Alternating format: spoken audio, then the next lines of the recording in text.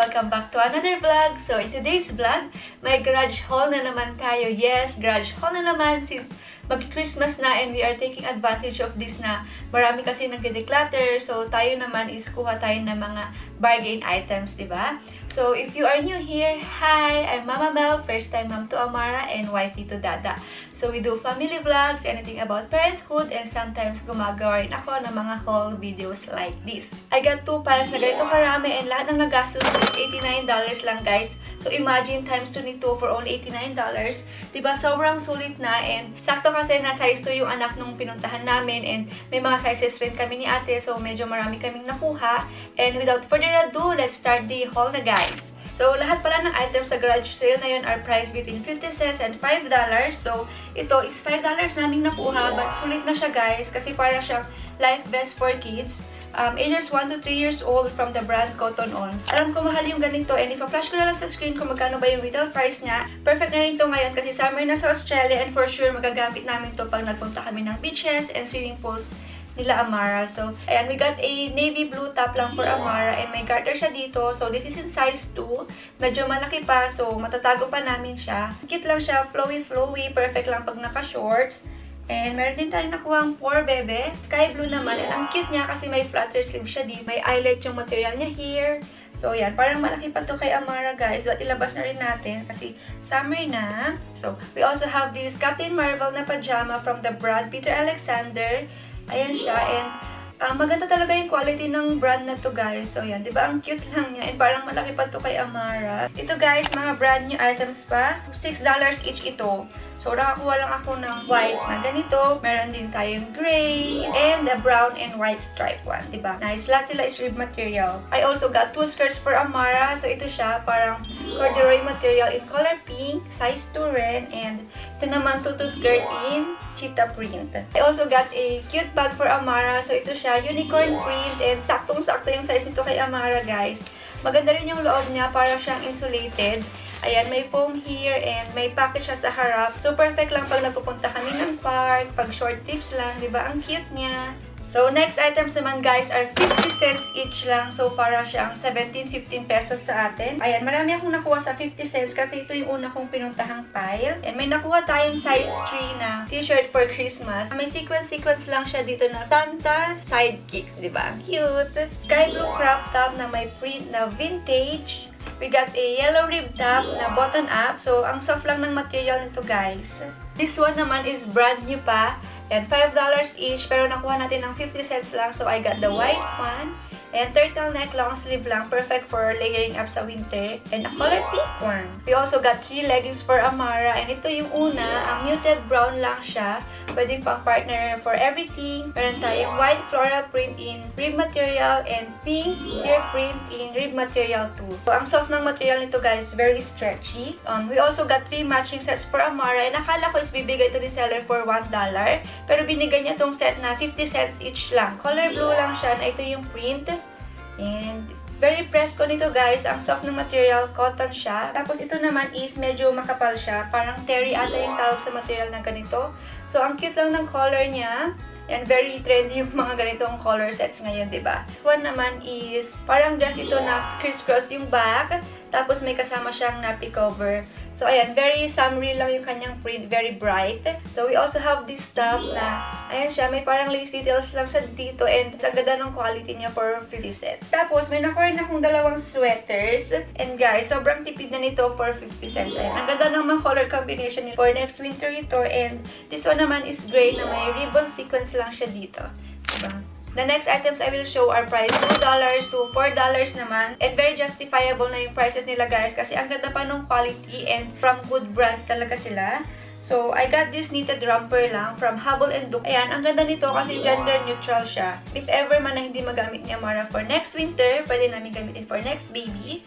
So, knitted material ito guys, kaya perfect na perfect for winter. And this one naman is from the brand Lee Cooper. So, ayan, I believe this is quite big. So, itatago muna natin siya. So, yung material niya is very soft. May parang fringe-fringe details lang siya dito. Floral print. So, we also got this linen skirt na very neutral yung kanyang color. And perfect to kasi pwede mo siyang i-partner for anything. Pwede for winter and pwede rin for summer. And yung back niya is crisscross. So, diba ang nice? Tapos, I got a black top lang na parang um, tuto yung sleeves. Anong tawag sa ganitong tela? So, yan lang. ba diba? Ang cute lang pang layering. So, we also have this dress in rust or terracotta color. And ang nice niya. Tapos, yung back niya is crisscross too. So, noong kita ko pa lang ito guys, kinuha ko na kasi I love, love, love this color. Meron din siyang details ito sa sleeves niya na parang ruffles-ruffles. And parang same din, pero in printed naman. Um, red floral lang siya. Very summery dress. And we got a matching set din pala guys. And we got this for $5. Sulit na guys kasi ito is parang jumper. And from the brand for Bebe. So yung price range niya is medyo nandito.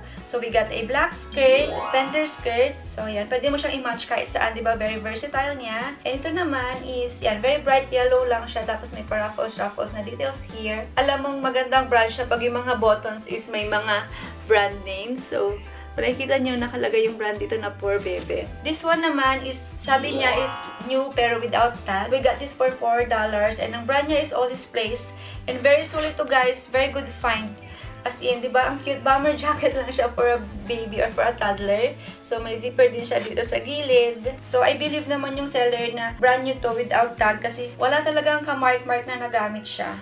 We got two toys lang pala for Amara this time and alam mo si Amara, kahit ang daming toys doon, hindi siya pick up ng pick up. So, ang kinuha niya lang is baby doll which she loves kasama niya ngayong natutulog and kinuhanan ko lang siya nitong threading toy na to, wooden threading toy and naghahanap kasi ako ng ganito, yung parang matibay yung ganito niya para madali itusok.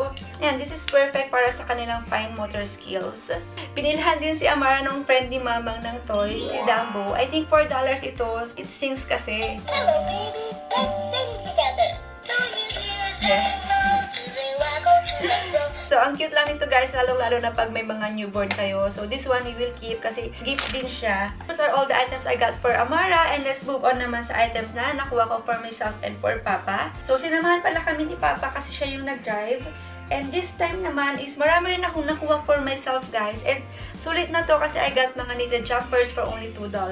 Yun, let's start muna sa mga $2 items na nakuha ko.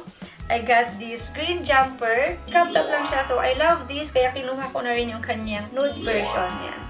Diba? Nice. $2 lang ito, guys. May nakuha din tayong brand new na H&M shorts. Ayan, guys. Brand new for only $2.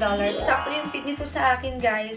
I got a Fila jumper din guys for $5 and ang ganda lang ng color niya. Yung material niya is yung fleece, yung very soft na makapal na mainit. So ayan, may Fila lang dito tapos sa side niya And cropped up din siya. So, yan. Perfect lang pag nagpapadede, di ba? Ang nice ng color. Meron din tayong nakuhang bomber jacket. Ito is, I think, $4 or $5. But, okay na, guys. Sinukat ko to and mainit siya sa loob. So, perfect na perfect for winter. So, ayan. Plain black lang siya dito na may, uh, may pocket sa harap. So, this is from the brand Used. Ayan. Meron pa siyang lalagyan ng tag. Ganito yung loob niya, guys. Parang kilted. Kaya alam mong mainit talaga.